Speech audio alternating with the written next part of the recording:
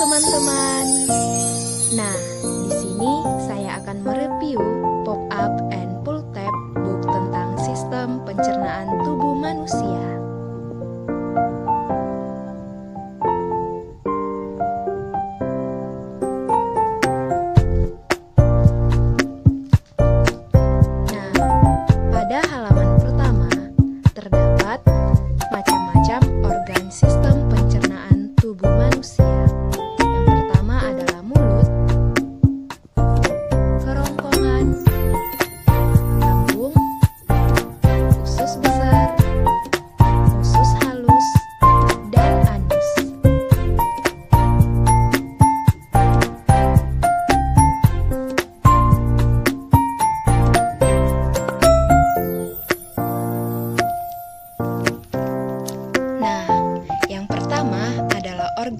ядерное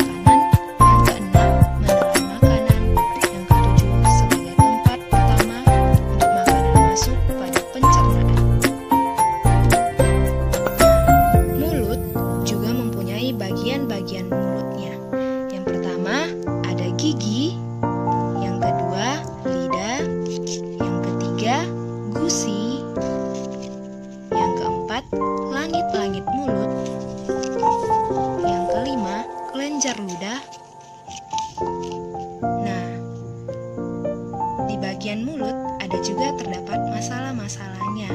Yang pertama adalah halitosis, yang kedua sindrom pada mulut kering, yang ketiga ulkus mulut, yang keempat kanker mulut, yang kelima sumbing dan bibir sumbing, yang keenam infeksi seperti sariawan, serves atau sakit sariawan atau tonsilitis, yang ketujuh masalah tong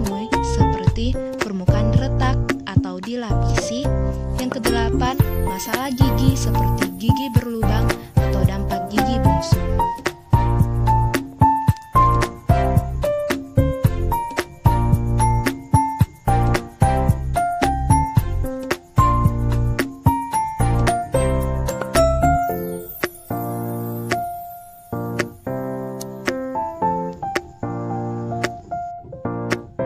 Nah, di halaman selanjutnya adalah organ pencernaan kedua yaitu organ pencernaan, kerongkongan,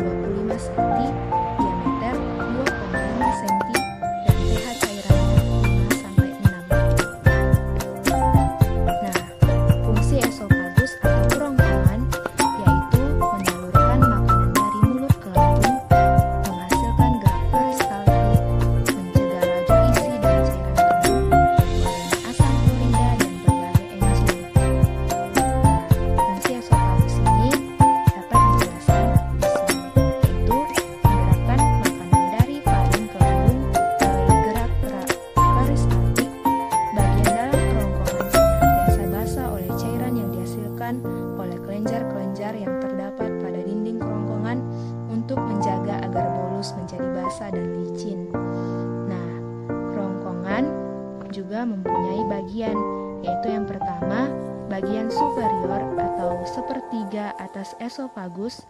Yang kedua, bagian tengah atau 2 per 3 tengah esofagus.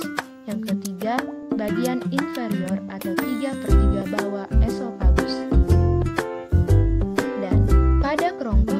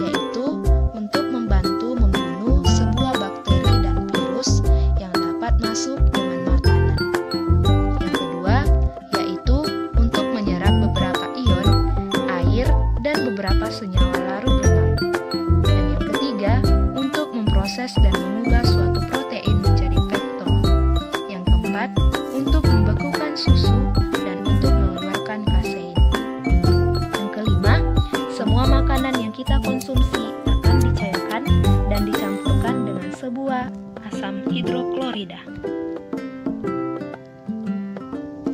Dan lambung tersusun atas empat dinding lapisan. Yang pertama adalah mucosa. Kedua adalah submucosa. Yang ketiga adalah muscularis. Yang keempat, gerak peristaltik.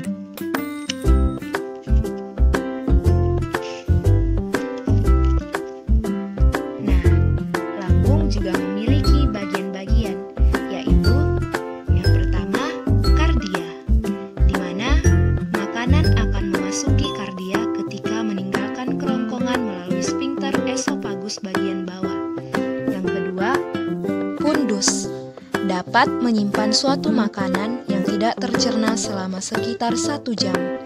Yang ketiga adalah korpus. Korpus ialah wilayah utama lambung yang terletak di pusat organ. Dan korpus adalah di mana sistem pencernaan kimia makanan terjadi. Yang keempat adalah filorus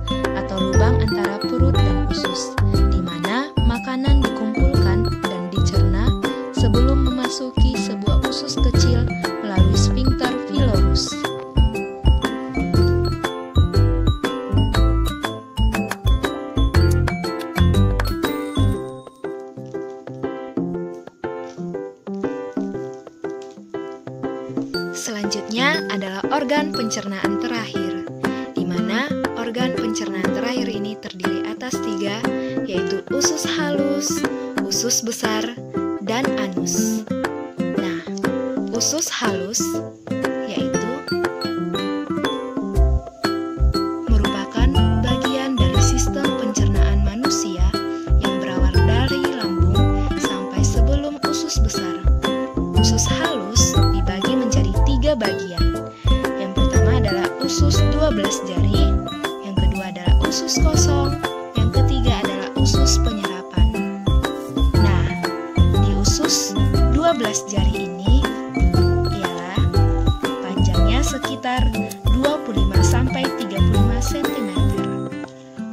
Usus 12 jari ini yaitu usus terpendek.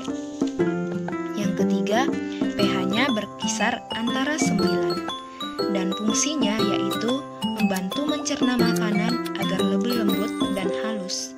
Yang kedua, membantu penyerapan nutrisi dalam makanan. Yang ketiga, memiliki lendir yang dihasilkan oleh kelenjar Brunner.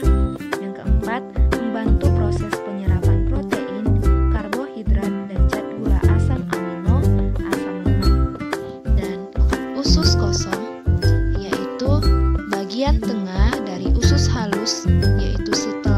usus 12 jari. Yang kedua, usus ini memiliki panjang 1 hingga 3 meter. Dan usus kosong ini memiliki tonjolan atau yang biasa disebut dengan pili. Fungsi dari usus kosong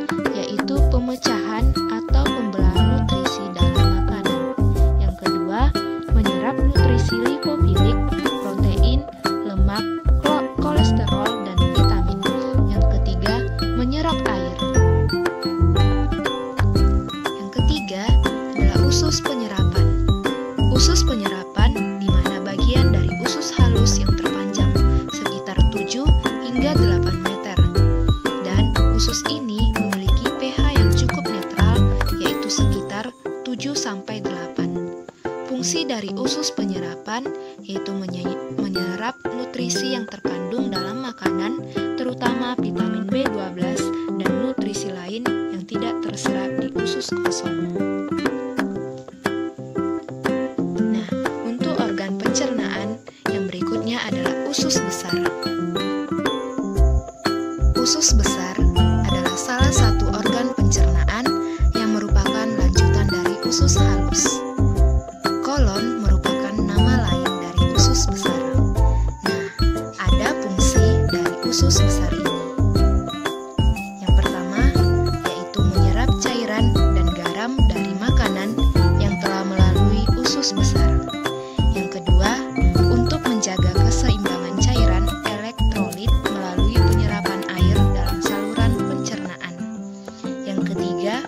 Sebagai tempat diproduksinya vitamin K yang berfungsi sebagai salah satu komponen pembukuan darah. Yang keempat, melindungi saluran pencernaan dari infeksi bakteri dan dengan lendirnya. Yang kelima, menyeimbangkan pH makanan sehingga keasaman makanan dapat dinetralisir. Yang keenam, tempat menyimpan limbah dan pengeluaran kotoran yang tidak diperlukan oleh tubuh. Nah, yang terakhir adalah sistem organ pencernaan yaitu anus. Anus adalah bagian terakhir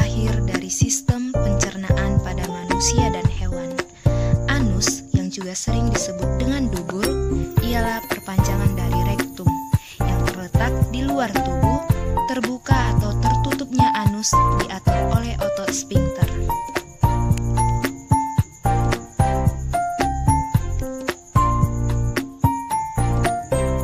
Nah, fungsi anus ada tiga. Yang pertama, untuk melakukan proses defekasi. Yang kedua, mengatur keluarnya fases. Yang ketiga, menahan BAB di saat tertentu. Dan usus halus ini ternyata memiliki enzim yang dihasilkan, yaitu yang sebagai berikut. Yang pertama, enterokinase, yang kedua, erepsin atau dipeptidase, yang ketiga, maltetase, yang keempat, laktase, yang kelima, sukrose, yang keenam, tripsin, yang ketujuh, disakarase.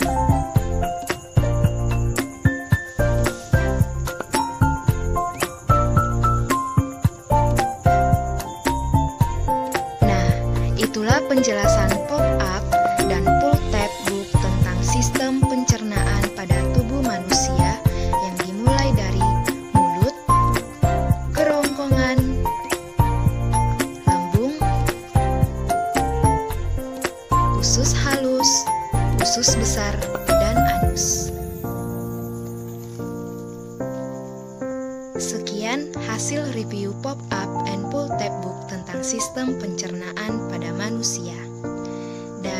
pada pop-up and full tab ini, alat dan bahannya hanya sederhana yaitu kertas karton, kertas origami, dan tentunya yaitu lem, dan spidol, dan pulpen, dan sampul buku ini yaitu bisa teman-teman coba dari kertas karton